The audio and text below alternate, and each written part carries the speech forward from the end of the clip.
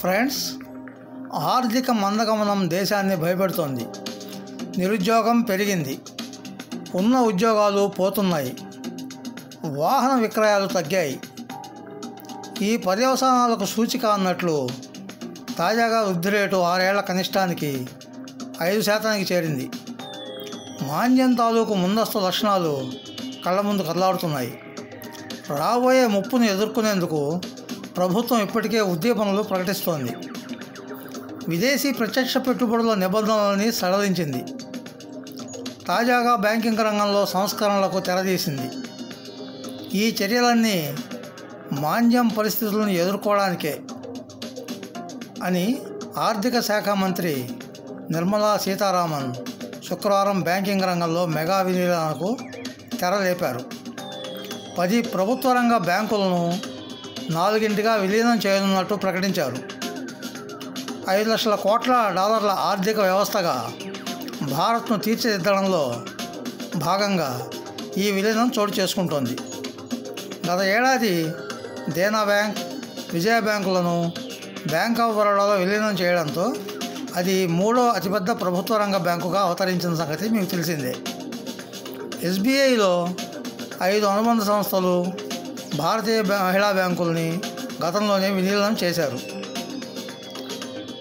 మరి ఇప్పుడు తాజాగా పది ప్రభుత్వ రంగ బ్యాంకులు నాలుగు బ్యాంకులుగా కలయిక చేస్తున్న నేపథ్యంలో ఏ బ్యాంకు ఏ బ్యాంకులు ఏ బ్యాంకుతో కలయనుంది అనేది మనం ఇప్పుడు చూద్దాం.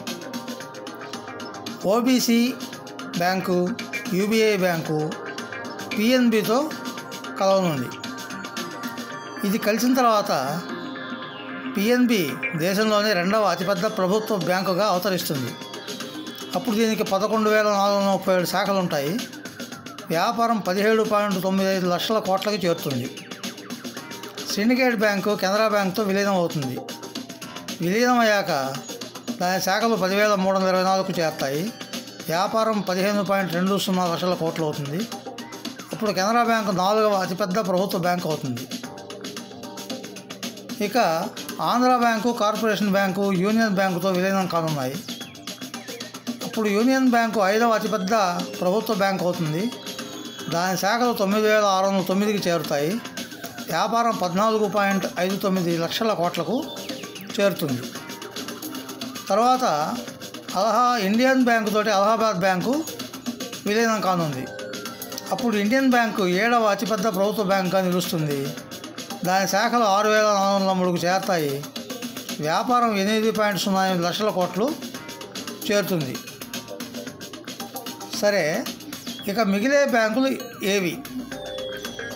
State bank of India Punjab national bank bank of Baroda Canara bank union bank bank of India Indian bank central bank Indian overseas bank UCO bank bank of Maharashtra Punjab and Sind bank.